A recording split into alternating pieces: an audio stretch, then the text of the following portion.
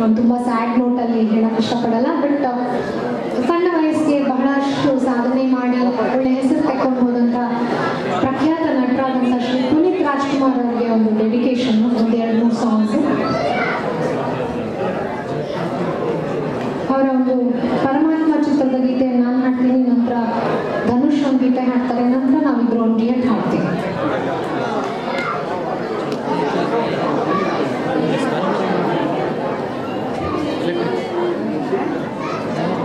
Thank